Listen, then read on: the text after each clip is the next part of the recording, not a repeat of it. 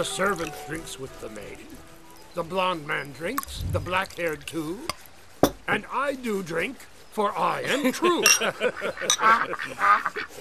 Sandro. He's my younger brother. He can read and do arithmetic. Do you want me to take him on in the shop? They would refuse a painting by Lippi as blasphemy. But if you were to do it in Lippi's style, You would make a fine impression and save a lot of money. I want to compliment you on how you portrayed the finest virtue of our family fortitude, without arrogance or vanity. From now on, he will be working for our family.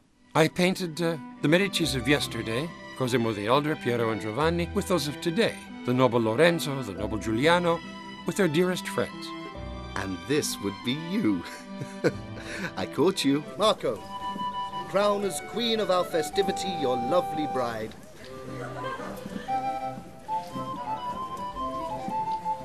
The incarnation of Venus and spring together. I agree to symbolize spring, but not Venus.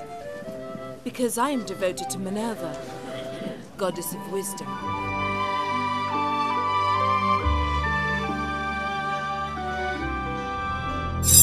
Death to the tyrant! Down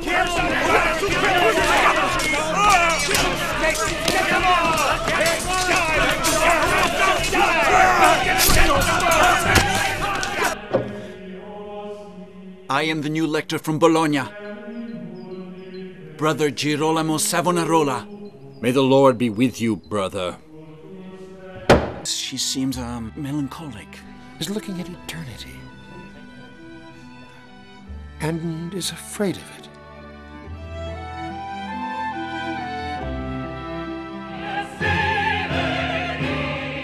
Transform this new Babylon into a city of God and save it from the wrath of the Lord!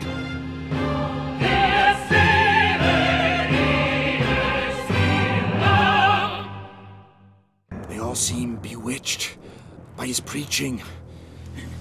Brother Girolamo Savonarola is a pious and holy man, but he must stop inciting the people against me.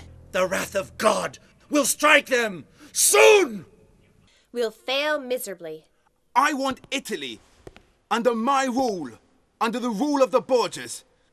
And by Christ, neither you nor that monk will stop me. I've already found his executioner.